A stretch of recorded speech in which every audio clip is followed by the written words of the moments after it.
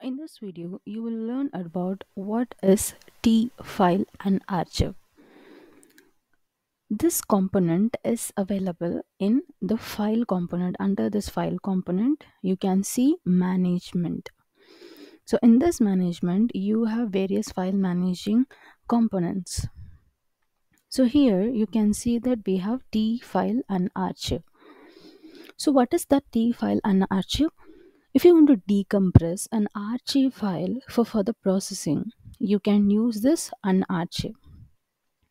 The various file formats which are possible with this is tar file dot tar dot gzip okay dot zip zip tar gz tgz files are possible with that let's try.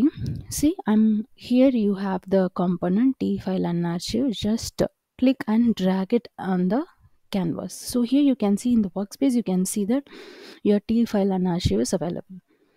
Now double click here. Okay?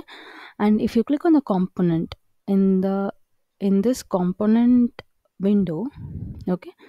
Double click. You can see the component basic okay? Here it is asking you to install the jar file.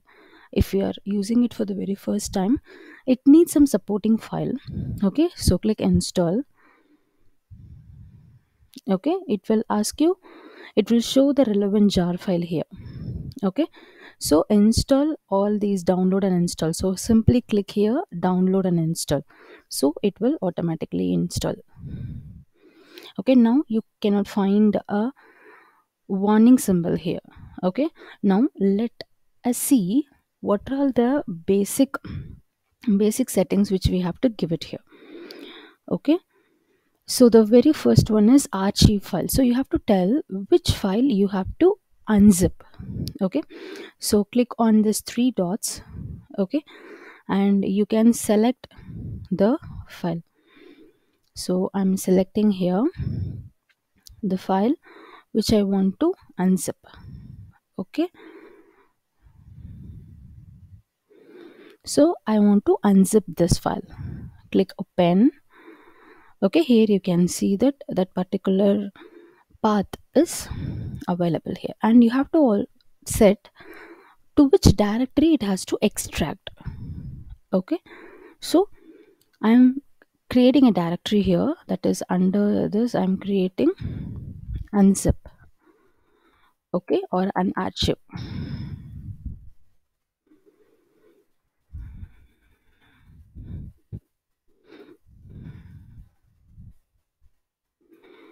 Okay and select folder. Now we can see that the file is available okay. And the other options or use archive file name as a root directory. So if you want to make this archive file name as a root directory then you can click here. Okay. You can also check the integrity before unzip and you can extract the file path if you want to give provide a password. So you can click here need password. Okay. And you can select your own password here that we will discuss after this execution. Okay. Once this is done you can go and click the run button.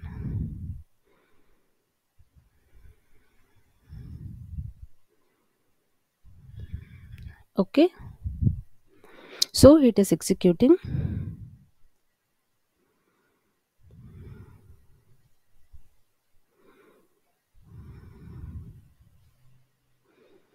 Great. So it is processing. Okay that is it is processing it is extracting the file and once it's done it will show the so process finished.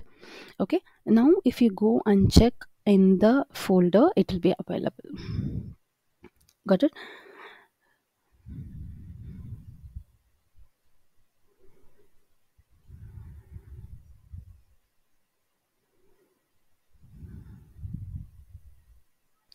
Now here you can see that that file is unzipped okay? So if you click here you can find the videos which is unzipped okay? So let's see more properties. What are the other properties available there? Let us understand the basic settings.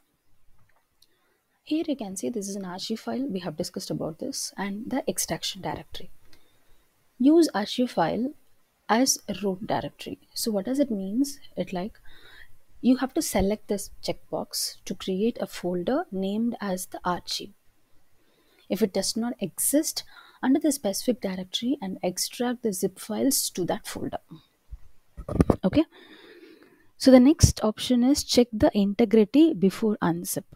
So this you have to select this box to run an integrity check before unzipping the archive file and extract file paths okay? So you have to extract the file path. This select this box to reproduce the file path structured zipped in the archive. So next is the need a password. So if you select this it will ask you the decryption method okay? That is one is a java decrypt and second one is zip4j decryption method. So the decryption method is you can either go with the java decrypt or zip4j decrypt method. So by default it will be in zip4j okay? So leave that as such and here you have to enter the password. Click on the three dots. Okay? Click on the three dots. And now you have to give what password you have to use it when archiving that is unarchiving the file. Okay? So that is this is very important that you have to select this box and provide correct decrypt method and password if the archive to be unzipped is password protected.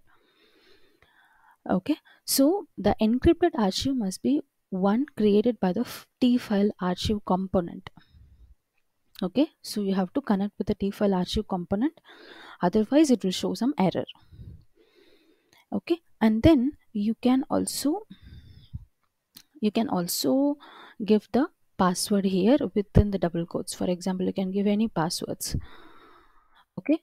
Password and if you click ok you can uh, that password will be here. Okay? So you can use this password in order to protect your unarchive so these are all the basics. Basic setting and the final one is die on error. That is if it has any error the job execution will be stopped. Okay so this is all about the file and archive we will discuss more about the file management that is how to create file archive and how to do file compare file copy file delete and everything in the upcoming videos